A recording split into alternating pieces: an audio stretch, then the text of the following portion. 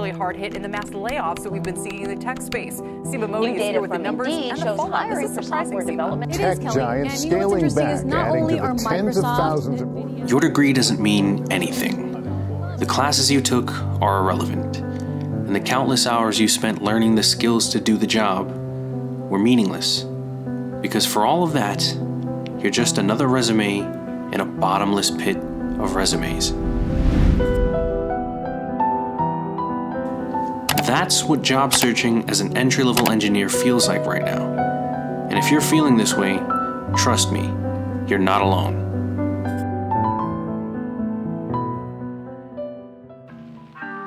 If you go on LinkedIn right now, I guarantee you, you're gonna see a lot more senior positions than entry level ones. And when you finally come across that one position that doesn't say senior, the minute you scroll down to the requirements, it turns out they're looking for five years of experience. Now, this presents a challenging scenario. It's a bit of a paradox, really. You need experience to get a job, but to get experience, you need a job, which leaves you with one question What do I do? Before we can get into that, we first have to answer another question. Why does it seem that the market is in high demand for software engineers, but then when entry level engineers try to get a job, there doesn't actually seem to be any? Let's try and figure out where that disconnect is. Right around the time you decided to get into tech, you probably saw that there was a high demand for engineers. Which engineers are actually in demand? And why? Companies during COVID decided that they were going to grow and grow until their heart's content, not realizing that eventually that growth would come to a screeching halt. Then they end up trying to keep their boat afloat in a recession with way too many passengers on board. Now, you see where this is going, right? That's how we ended up with so many layoffs just in the last year or so. So now you have to consider that there are experienced engineers currently in the job market competing with you, an inexperienced engineer looking for entry level roles. Well, hang on. Actually, it might even be a little bit easier if I just show you. Check this out. You see, it comes down to one simple concept supply and demand. There's a huge supply of junior engineers attempting to get into tech, but a lower demand for them. Meanwhile, senior engineers are drowning in emails from recruiters because they have one thing that you don't expertise. The ability to add value in a short amount of time. And in this business, time is money. You see, companies don't want to wait for a junior engineer to learn all the skills that they need to build the desired product.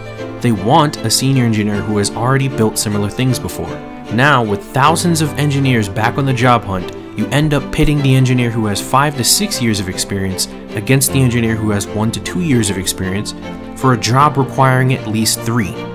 It becomes very obvious who wins in that exchange. Even more so if you're the poor sap looking for their first job. Now, one of the first things that I said when you first clicked on this video was that your degree is meaningless. Now, the reason that I said that is because the things that you may have learned in college might not actually be the things that are useful or valuable in today's market.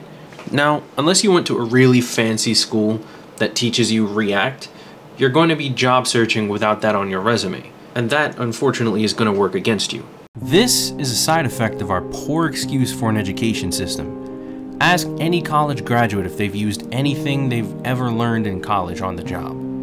If they say yes, they're either lying to you or $50,000 in debt, because it's no secret that college curriculums are completely out of date with today's job market. This is likely the most frustrating part of the job searching experience, seeing rows and rows of requirements you could never hope to meet.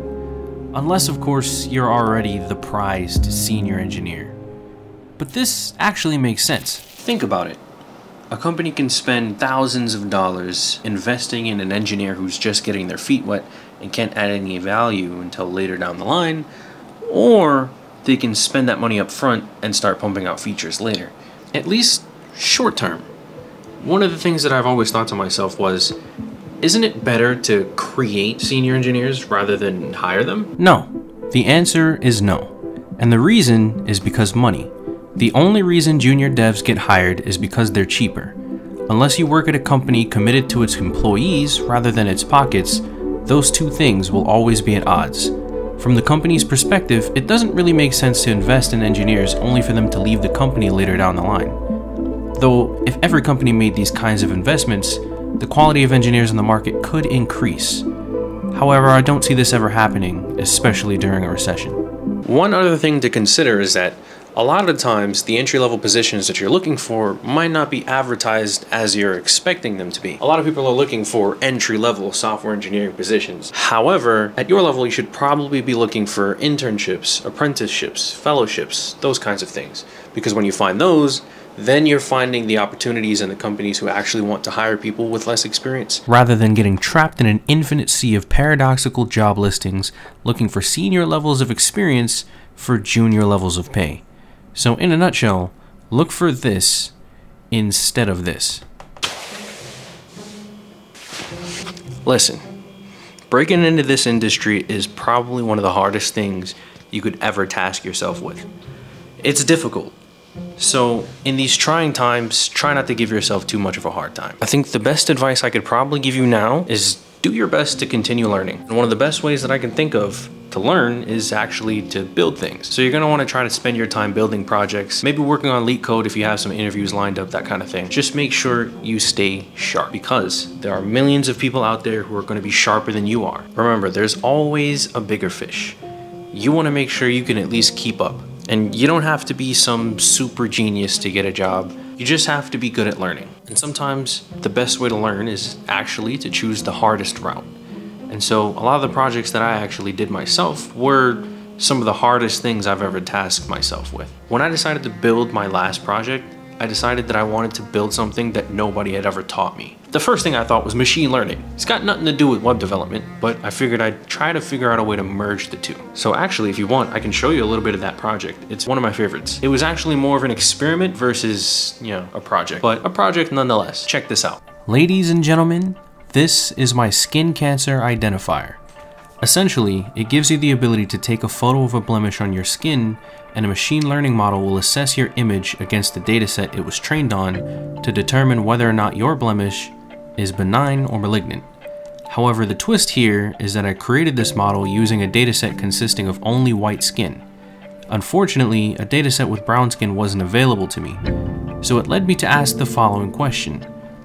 Can a machine learning model trained on white skin be just as accurate when assessing brown skin? Unfortunately, I never did get a definitive answer to that question, but on my quest to answering it, I learned how to train models with TensorFlow, among other valuable things. My point is, if you take anything away from this video, it's that despite the condition of today's job market, you should be building things to sharpen your skills and continue learning. Once again, thank you for watching, and if you like these videos, leave a like, share, comment, and don't forget to subscribe.